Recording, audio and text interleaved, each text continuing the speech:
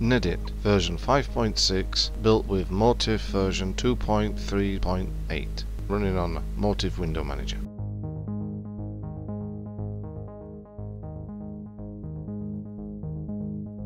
For this software review, I'll be looking at a small but powerful text editor called Nedit, short for Nirvana Editor, which was originally released in 1992. The latest stable release was in 2017 with the latest being version 5.7. Initially created by Mark Edel for Fermilab, it is licensed under the GPL with what is known as a motif clause.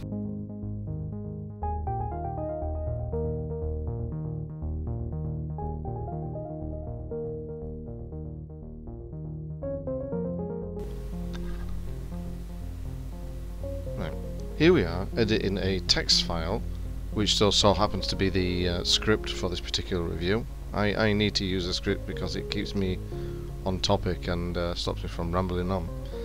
Uh, but in this instance we're editing this text file which is the script and as you can see Nedit is relatively um, sparse in its menu and its window decorations. Uh, you've got seven main uh, options at the top with an eighth one at the other end which is quite a comprehensive uh, help section which we'll be looking at in a minute. Uh, the file, well it does what you expect it to do. Um, it brings up various options to uh, save, load, create new uh, files either in the same window as a tab or as a new uh, window.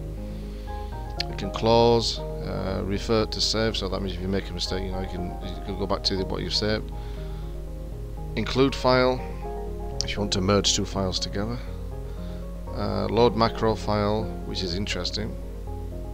Load tags file. Uh, so I'm going to unload tags file once you've loaded them in. Load call tips file and again unload once you've loaded it in. The print and print selection. So if I go to that print selection is now available. And exit. It's just self-explanatory. And as you can see down the right hand side of the menu you got the shortcut keys for those who don't like to go to the menu. Secondly we've got the edit menu uh, entry. Again pretty standard. Undo, redo, cut, copy, paste paste column which is interesting. And delete uh, select all, shift left. You can move text around quite interestingly if you want to, uh, if you change your mind. You could copy and paste. You can achieve the same thing by copy and pasting, but this makes it slightly easier. Change a, a selection to lowercase or uppercase, fill paragraph.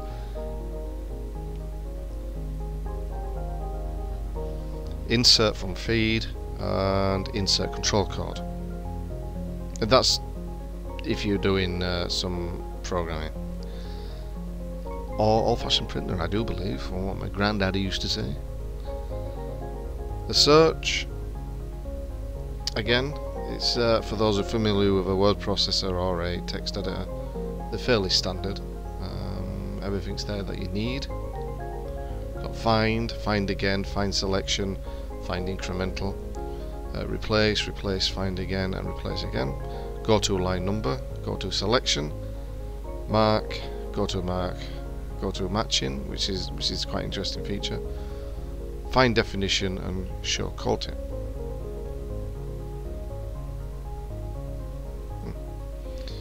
The preferences one is perhaps uh, one where everything can be tweaked to your particular liking. You get within the preference, you get sub menus which takes you to uh, everything which you can change about Nedit to uh, your own liking. So everything from customize the menus, you can customize the fonts, the, the background, the colour of everything really. Uh, I like it fairly default. Um, it works for me just right. So, but you know, if you wanted a pink background with purple text, then you know you can do that. Uh, your command shell, which lets you change uh, which shell you would like as I mentioned before, I have my command shell changed to uh, SH. But if uh, if you want to stick with the CSH, you can do that. If you want to do KSH, you know, it, it's all good, and that's where you would actually uh, put your own preferences. Um, but yeah, everything is it's quite a comprehensive preference. I think you can change language mode, everything really. It's uh, it's pretty good, and even for the initial window size, if you want it to start up on a larger window, it's fairly good. The save defaults will save the selection that you've just made as the default um, the next time you start the application up. Statistics line will give you a quick rundown of how you're doing, which uh, path directory you're saving to. Show line numbers, you know, incremental search line, show line numbers, language mode. Yeah, it, it's fairly good. It's fairly good. Over, I mean, you got basic things like overtype and read only, but and word drop too, and auto indent. So your preferences are quite comprehensive, and really would be uh, beyond the scope of this small review to go into every single feature. I think the best way to just, you know to look at it is install it yourself and have a look at it. It doesn't hurt, and if you don't like it, you can delete it. But have a look at it, play around with it, tweak it to your settings, and I think it'll grow on you. It's an oldie, but it's a goodie, and you know the best way is just to get hands on, have a try. The next menu entry is shell. Uh, with this one you can execute commands without starting up another terminal window. Although, you know, to be truthful, it's not really such a big deal just to start up a new Xterm uh, if you want to execute something. But say, for instance, you have this filling the screen. You might not want uh, the distraction of starting up another time. I, mean, I don't know why. I mean, it doesn't bother me, but you know, if you run a dual display, it's not a problem. But if you have one single screen and this is filling your entire screen, and you want to concentrate, but you also want to issue a command, I can see why this might come in useful.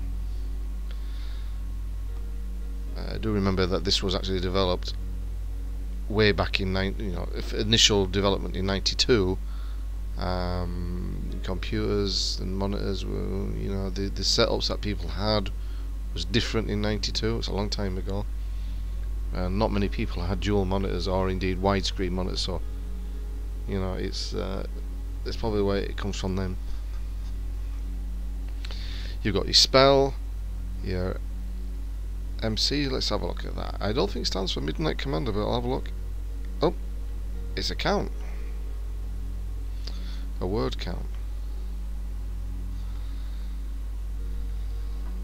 Oh, it says WC. I thought it said MC. My eyesight is going. So you got sort, number lines, make, expand, unexpand. I like that word count actually. It's uh, it does it does get some of it. It's no fussing around. So you can add your own um, commands there if you wish.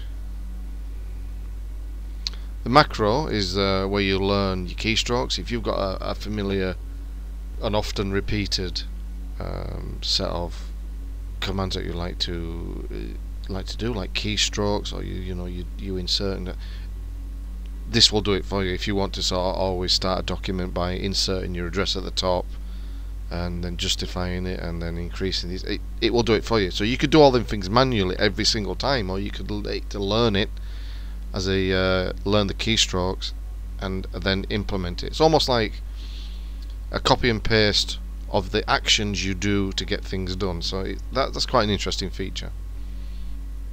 Can finish learning, you can cancel the learning or replay the keystrokes and repeat. Complete word. Uh, let's have a look. Oh. Complete word. Hmm. I'll have to look into that. Uh, quote mail reply and unquote mail reply. Oh, okay. That must be you can tie it into your emails if you wish.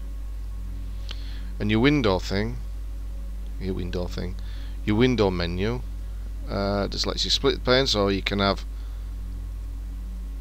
editing two at the same time. Let's see if, yep, it comes at two. I don't know why you would do that, but it's there for you. If anyone knows the answer why you would want it uh, split, then please let me know. and then it just tells you the the path at which you're editing on. Detach tab and move tab. So if I was to start a new mm, a new file, yeah, there's the there's the tab. And if I go into macro window, I mean detach the tab, there you go, becomes separate. And move tab to that one and you can rejoin it again. That is pretty cool. So you can work on a new tab, split it, rejoin it as you fancy, you know, as you feel like it. Very good. Make sure I close the right one. Hmm. So I've never used that one before, for, so for me that's a discovery, so that's pretty cool. So that's it. That's um, pretty much it. I mean, it is a a text editor which can cater for obviously just blocks of text. It's not a word processor.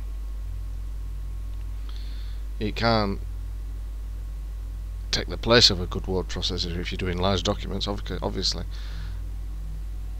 But as a replacement, in case you just want to write up something quick, or indeed if you're a programmer and you want to use this as your uh, work environment, then it's it's more than suited for it. I know a lot of programmers who actually have their own little um, favourites and will never change from it, and that's fine.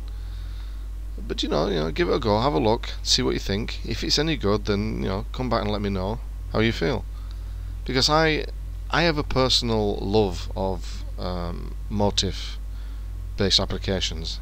I, I look the I love the feel, the look of them. Maybe, uh, maybe it's down to my formative years where I saw a lot of um, it's like late 70s 80s um, computers with uh, the common desktop environment running. And of course that has a, a motif based uh, window decorations and a look and a feel. So for me I mean yes you know on this particular computer I could run uh, the latest KDE and GNOME and uh, all the rest of them but I but I have a calling back to simple window managers. And in particular I think I'm split between uh, Motif Window Manager uh, JWM which is Joe's Window Manager and TWM which is Tom's Window Manager. I yeah I, I, I'm more towards Motif but I appreciate the other two the, in particular the TWM because it's in FreeBSD anyway it's actually part of the uh, Xorg um, package when you install it. So you, right from the bat, if you have a if you have the uh, the config file at hand on a USB somewhere or or wherever, you could email it to yourself. You just slot that into your home folder, and instantly you can replicate the look and feel with the menu application, everything of you, your TWM. There's no it's because it uses one single config file. That that then dictates how it looks and feels across multiple machines as soon as you've uh, installed Xorg. I mean, yeah, there are things like you know X defaults, X resources, which will change some of the customization, some of the look, some of the feel, but the the, the core essentials is there every time, and to me that's, that's brilliant. So it makes administrating uh, a computer online a long way away. If someone wants something added or or they want it fixing somewhere because it's not doing what they want if they're running Motif Window Manager and you know I mean it's it's a, a fantastic uh, VNC window manager to use because it, it's very low in resources then you can easily fix it. But that's my own personal thing. Um, I like Nedit. I use Nedit all the time. I'm using it now to uh, to edit the script for this. Um, as you probably can tell that this particular segment is not scripted so I'm rambling a bit but bear with me. But Nedit feels clean. It may look old and it's it's got it's missing some of the uh, the fancy pizzazz of newer text editors. And for me it gets the job done. I mean it's either this one or the default EE or the edit uh, which is available on FreeBSD Uh, in fact, I'll show you that. I can bring a window up. There you go. Minute. Edit test. This is the um, the one that I also use. I do particularly like this. I like the colour scheme on it. It took me a while to get right, but it just looks like an old-fashioned monitor. But I like that. Uh, it gets the job done.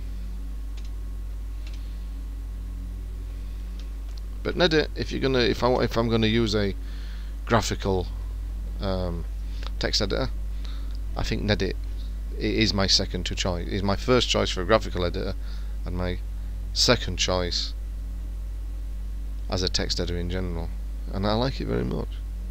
Some people won't like it, but that's you know it's a matter of opinion. It's how it's how you feel. It's how you you the best way for you to get your workflow done.